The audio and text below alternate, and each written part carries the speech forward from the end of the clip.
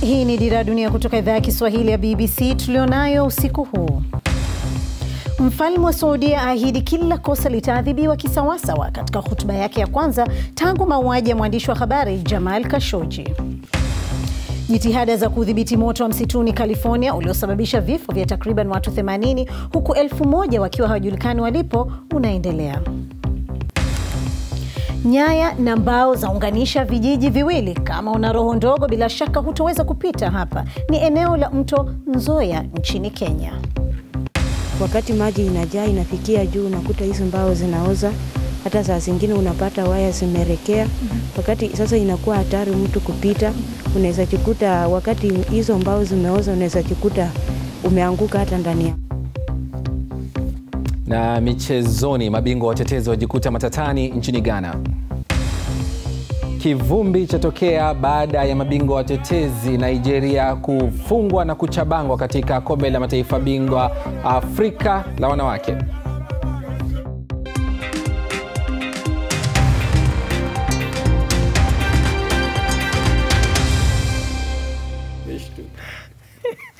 Hujambo na karibu katika Dira ya Dunia kutoka idhaa ya Kiswahili ya BBC ikikuletea dakika 30 za habari, maelezo, uchambuzi, maoni na michezo. Mimi ni Zuhra Yunus nikiwa hapa London. Mfalme wa Saudia ameahidi katika hotuba yake ya mwaka bungeni kuhakikisha hakuna uhalifu utakaoachiwa bila kuadhibiwa. Alisema anaiamini mahakama ya Saudi Arabia itahakikisha haki inatendeka, huku ghadhabu ya nchi za kimataifa ikiwa inaendelea juu ya mauaji ya mwandishi wa habari Jamal Khashoggi. Rais Trump anashinikizwa kuilaumu Saudi Arabia baada ya taarifa za vyombo vya habari zisemazo kuwa uchunguzi wa shirika la kijasusi la Marekani CIA unamlaumu mrithi wa mfalme Mohammed bin Salman, mwana wa mfalme na mrithi wake. Chama Omar Matata anatuarifu zaidi. Hotuba ya mwaka ya mfalme wa Saudi Arabia katika baraza la Shura, bunge la Saudia, kwa kawaida haingevutia sana kusikilizwa na dunia, lakini hizi siyo nyakati za kawaida. Ufalme ulianzishwa kwa msingi wa utaratibu wa Kiislamu, kutegemea haki, na inazionea fahari jitihada zake za kufuata haki na uendeshaji mashtaka wa umma. Alipokuwa akijaribu kuwahakikishia tena wananchi wa Saudi Arabia kuwa hakuna jambo lililobadilika tangu mauaji ya Jamal Khashoggi yalipotokea, mwanaye na mrithi wake Mohammed bin Salman alikuwa ameketi mstari wa mbele. Mfalme alidhihirisha kwamba mabadiliko yaliyofanywa chini ya utawala wa Mohammed bin Salman yataendelea, lakini mafichuo ya kutisha juu ya mauaji ya mwandishi habari mpinzani wakati alipokwenda ubalozi wa Saudi Arabia mjini Istanbul mwezi uliopita yameharibu sifa ya kimataifa ya mrithi wa mfalme katika nchi za kimataifa. Rais wa Marekani Donald Trump anasema ameelezwa juu ya kurekodiwa kwa mauaji ya bwana kashoji lakini haitosikiliza yeye mwenyewe rekodi hiyo. Najua kila kitu kilichorekodiwa katika ukanda wa sauti bila kuisikiliza rekodi hiyo, aliwaeleza Fox News.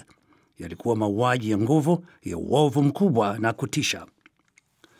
Shirika la CIA linaarifiwa kusema kuwa mrithi wa mfalme mwenye mamlaka makubwa aliamuru mauaji hayo, lakini Wasaudi wanakanusha vikali shutuma ndani yake, na ikulu ya Marekani bado haijathibitisha tathmini hiyo ya CIA licha ya shinikizo zinazofanywa na baraza la Congress kuchukua msimamo mkali. Waangalizi wanasema bwana Trump huenda akasita kuwa mkali dhidi ya Saudi Arabia, mshirika mkubwa wa Mashariki ya Kati. Hata hivyo, wiki iliyopita Marekani iliwawekea vikwazo vya fedha wa Saudia 17 wanaoshukiwa kuhusika na mauaji hayo.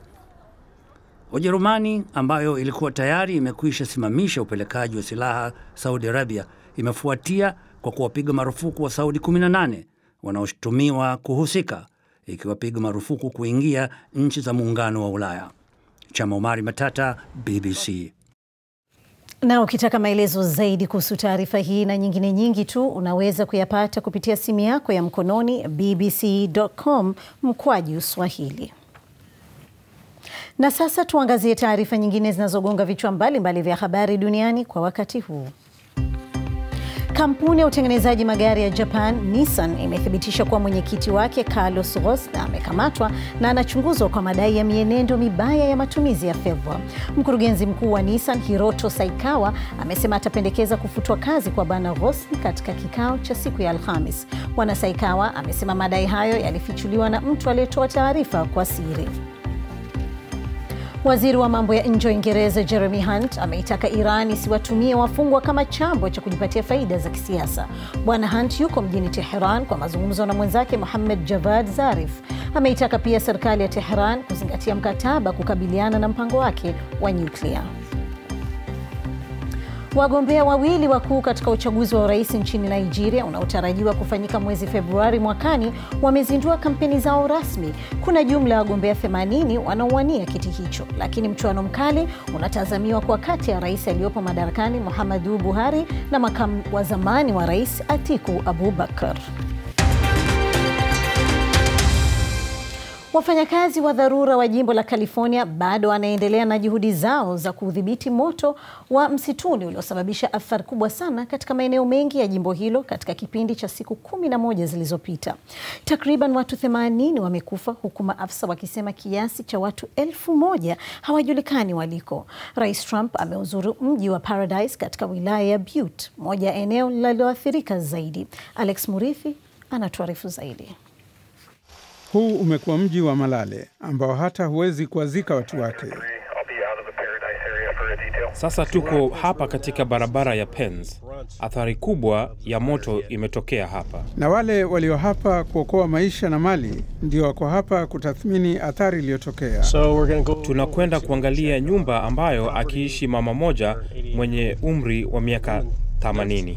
Sajenti Rob Nicola hata haitambui tena mitaa ambayo amekuwa akiifanyia doria kwa kipindi cha miaka 18. Alama zote za kawaida tulizokuwa tukitumia haziko tena. Kila siku utakuta kitu kingine kikionyesha uchungu uliokuweko kutokana na moto ambao haukuwapa watu fursa yoyote. Ulikuwa ni usukani wa aluminium, lazima ulikuwa umoto sana. Kufikiria hali ilikuwa vipi inaumiza sana. Alikuwa mkongwe pengine hata alikuwa hatoki nje peke yake, pengine hakuwa akiendesha gari, na moto ulitokea asubuhi, hatujui vipi, pengine hata alikuwa bado amelala. Moshi, harufu ya waya zikiteketea ndiyo ishara ya kwamba kitu kibaya kutokea, na wakati wa taharuki, maafisa wachache ndio walioendelea na kuwaweka watu pahala pa usalama. Moto ulikuwa ukizidi kuja karibu na watu walikuwa wamekaa ndani ya magari yao wamekwama. Kazi kwanza, familia baadaye. Unajua, mke wangu aliingiwa na jazba, alitaka niondoke. Ameniambia toka huko, lakini siwezi. Nina watu mia mbili hapa na nitashughulikia. Wameutengeneza mji huu wa Paradise kwa matumaini. Kila kitu kimekwenda, kilichobaki ni nia na matarajio. Alex Mureithi, BBC. Hii ni Dira ya Dunia kutoka idhaa ya Kiswahili ya BBC London na mimi ni Zuhra Yunus.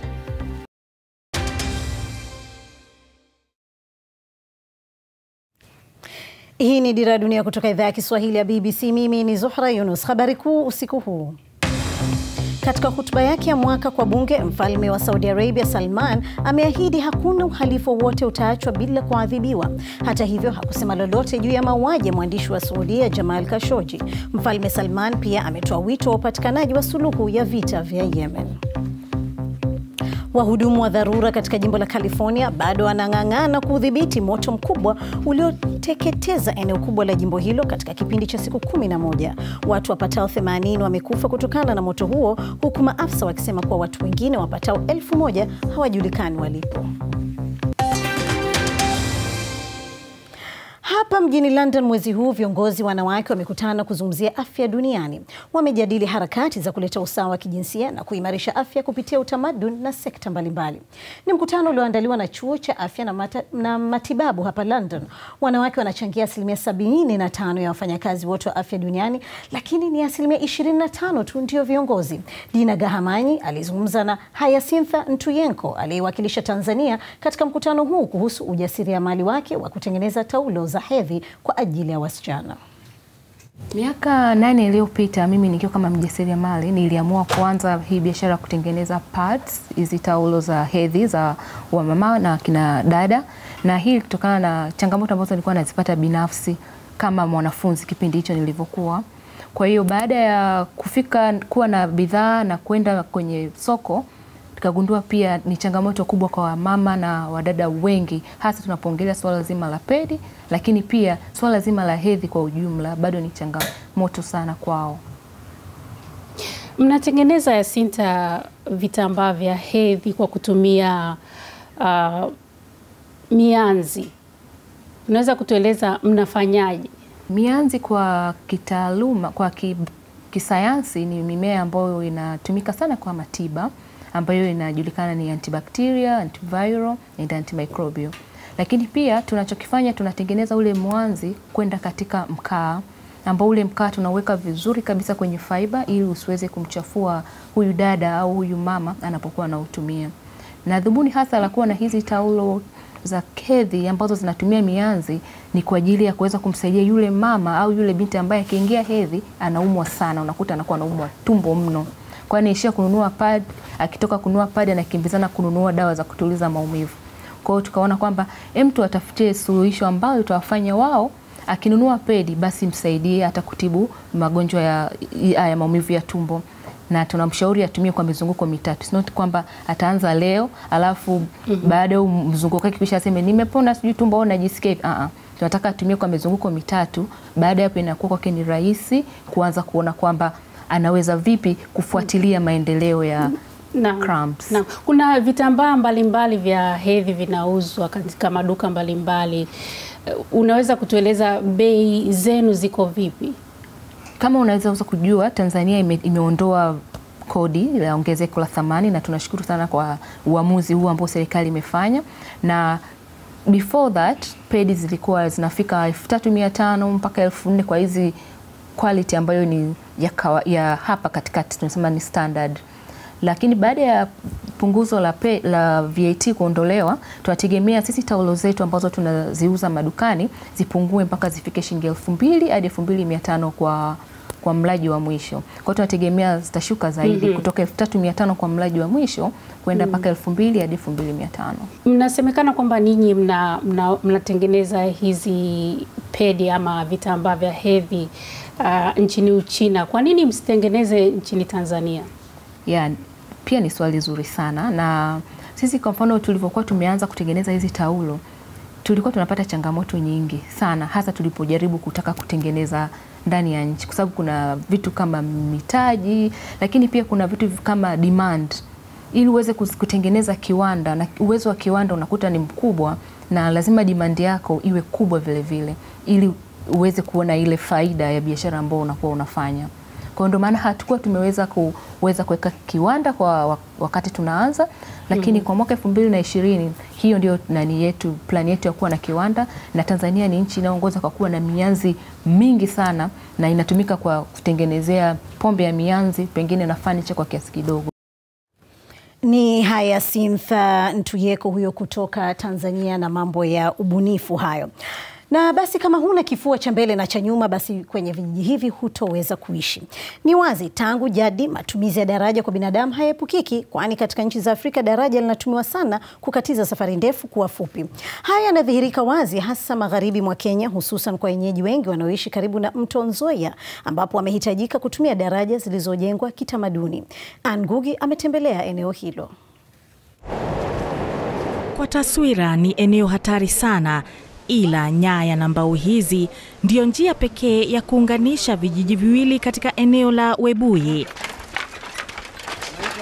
Daraja la Mufunje ni maarufu likimaanisha kufungwa fungwa, ambapo kwa hili ni kamba na miti, na licha ya uoga waliokuwa nao wavukaji, mazoea yamewakomaza. Chini ya daraja hili kuna mto huu unaodhaniwa kuwa miongoni mwa mito mikubwa hapa nchini Kenya. Ah, siogopi juu tumezoea. Licha ya wengi kuwa jasiri kuvuka daraja hili, wanakiri mara kwa mara nyaya za daraja hili huoza na kukatika. Cha kutia kidonda uchungu ni kuwa pia mtu huweza kuteleza, lakini hilo sio hoja.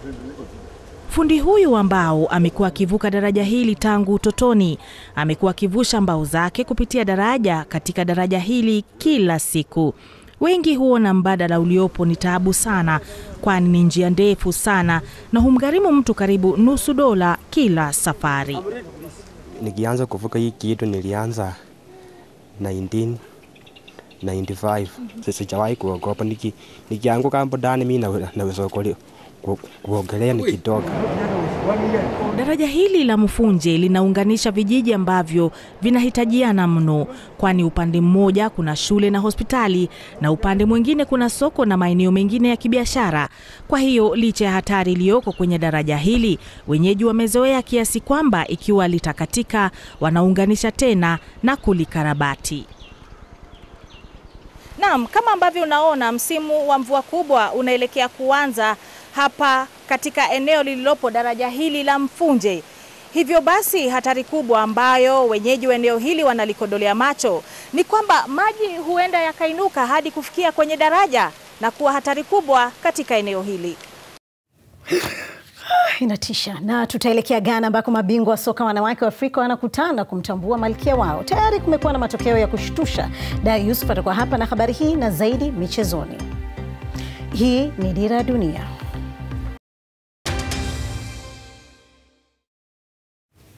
Karibu tena katika Dira ya Dunia moja kwa moja michezoni na Dar Yusuf. Karibu Dar. Asante sana Zuhra. Leo siku ya mapumziko kwa mechi za kombe la taifa bingwa Afrika kwa wanawake zinazoendelea nchini Ghana. Matokeo makubwa yalikuwa kwa mabingwa watetezi Nigeria waliotolewa kijasho na Afrika Kusini na kufungwa moja bila. Washiriki waliothibitishwa katika dakika za mwisho mwisho, Equatorial Guinea walioonyeshwa kweli kukosa kujiandaa. Zambia waliwatumia kupiga deki na kuwazimia siku kwa mabao matano kwa bila, huku mshambuliaji Rachel Kudanji akiwafungia mabao mawili. Wenyeji Ghana nao wamejishindia mechi yao ya kwanza kwa kuichabanga Algeria mbili bila. Hata hivyo, kocha wao Bashir Hayford amekuwa na masikitiko kutokana na namna Black Queens hao walicheza uwanjani, akisema kwamba walipoteza fursa nyingi sana za mabao. Upande wa wanawake umeshika kasi tayari, lakini upande wa wanaume, sura zitakazoshiriki mwaka ujao kombe la taifa bingwa Afrika zimeanza kuonekana.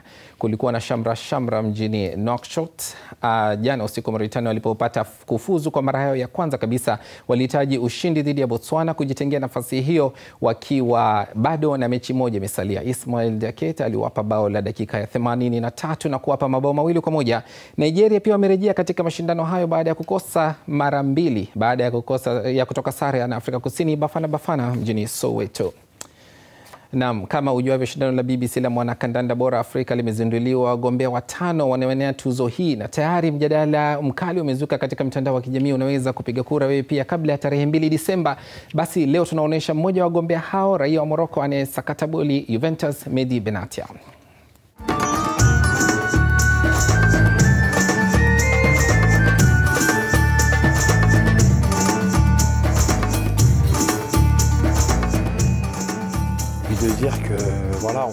Pengine ningesema kuwa nipo katika fani hii ili kushinda vikombe. Binafsi nina bahati sana kuwa kila siku ninaweza kushiriki mazoezi na kujiandaa kwa lengo moja tu, kuibuka mshindi. Inanipa raha sana. Nimecheza mpira kwa miaka mingi na nimejifunza kuwa jambo muhimu zaidi sio kushiriki tu, bali ni kupata ushindi. Kwangu mimi kama beki, ni nadra sana kwa beki kuorodheshwa kupata tuzo. Kwa hiyo nina furaha sana. Ninawashukuru sana walimu wangu na watu wote waliohusika katika kunijenga kila siku. Évidemment, euh, j'ai une pensée pour tous mes éducateurs, tous mes, tous qui m'ont. Kila ninapoingia uwanjani Juventus, ninajua maelfu ya Wamoroko wananitazama na ninajivunia sana kuwa mfano mzuri kwa watoto wote wa Moroko. Nadhani timu yetu imejifunza mengi wakati wa kombe la dunia. Tulikuwa katika kundi gumu sana dhidi ya Iran, Uhispania na Ureno. Kwa bahati mbaya, tulijiumiza kidogo wenyewe tulipopoteza mechi dhidi ya Iran. Tulionyesha kuwepo na kizazi chenye kipaji kikubwa. Niliwaambia wenzangu kuwa mimi ni kizazi kilichopita kwa sababu ya umri wangu. Nimesalia na miaka michache katika soka. Watu wanadhani kuwa hakuna tofauti kubwa kati ya kuwa wa pili au wa kwanza kwenye msimamo. Ni makosa. Kuna tofauti kubwa sana. Salut à tous, c'est Mehdi Benassia. Hamjambo, mimi ni Medhi Ben Atia na ninawategemea sana. Ni matumaini yangu wengi wenu mtanipigia kura. kupata tuzo ya BBC ya mchezaji bora wa kandanda kutoka Afrika mwaka huu.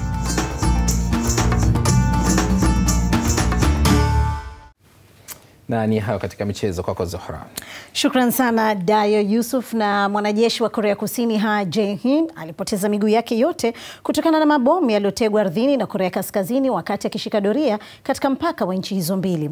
Alianza kujishughulisha na mchezo wa kupiga makasia kama sehemu ya kupona kwake mapema mwaka huu na tayari ameshinda mashindano kadhaa. Hapa anazungumzia kuhusu safari yake. Nikiwa kwenye dau napambana na hali yangu. Huyu ni Ha Jae-hyun, bingwa wa kupiga makasia Korea Kusini, ambaye alipoteza miguu yake kutokana na bomu la kutegwa ardhini wakati wa doria katika mpaka kati ya Korea Kaskazini na Korea Kusini mwaka 2015. Ghafla nikasikia mlipuko. Baada ya mlipuko, sikuwa na uwezo wa kuona wala kusikia chochote. Halafu baada ya sekunde chache nikasikia maumivu kwenye vidole vyangu vya miguu. Nilihisi maumivu makali, na nilivyoingia kwenye miguu yangu nikaona nimebaki mifupa peke yake. Kiatu changu kimoja kilikuwa kiko juu ya waya wa seng'enge. Uchunguzi ulioonyesha Korea Kaskazini walikuwa wametega mabomu hayo ya ardhini. Takriban mabomu milioni mbili yanaaminika kutegwa katika eneo hili lisilokuwa na wanajeshi wa Korea zote mbili. Tangu uhusiano uimarike kati ya pande zote mbili, nchi hizi zimejizatiti kutegua mabomu katika eneo hili. Kama nisingelikanyaga kwenye mabomu, wanajeshi wangu waliokuwa wakinifuata wangeyakanyaga. Kwa hiyo nafarijika kwamba mimi ndiye nimekanyaga kwenye sehemu ya mabomu hayo. Ha alifanyiwa upasuaji mara 21 ndani ya mwezi mmoja kujaribu kuokoa miguu yake. Aha alianza mchezo wa kupiga makasia mwaka huu kama sehemu ya matibabu yake na tayari ameshinda medali kadhaa katika mashindano mbalimbali. Kila kitu wakati wa matibabu kilikuwa kigumu. Nilistahimili uchungu mkubwa. Kitu kigumu zaidi ilikuwa ni kuhakikisha kwamba mawazo yangu yako sawa kabisa. Ingawa kwa kunitizama utaona niko sawa, lakini kwa ndani nilikuwa naumia sana. Nilijitahidi kuonyesha kuwa kila kitu kilikuwa sawa. Nikikuonyesha tabu niliyopitia, wazazi wangepata matatizo mengi. Kwa hiyo nikajitahidi kupambana na hali yangu. Na basi sasa tuangalie ujumbe wako kupitia mtandao wetu, na ni kuhusu lile daraja. Bwashe Machui wa Moshi, yeye anasema daraja kama hilo uh, lipo na linaitwa daraja Mnepo, ila kwa kweli madaraja kama haya yanahitaji moyo, ukakamavu na ujasiri kwa kweli kuyavuka. Ruramba Franklin Malega wa Malawi anasema daraja kama hizi zipo nyingi sana hapa Lilongwe. Kwa kuvuka kwenye daraja kama na hili huwa tunalipa pesa. Eh, na Kabo Kaligito wa DRC anasema kwetu tunayo upande wa Maniema, ni lazima mvuke daraja la Kamba, ila ni hatari kwa mtu mgeni. Mara yangu ya kwanza niliogopa sana. Nawe pia basi unaweza kuwasiliana nasi kupitia Facebook na vile vile Twitter. Na itabidi basi tukomea hapa hadi kesho. Maasalam. Mimi ni Zuhra Yunus, mlale unono.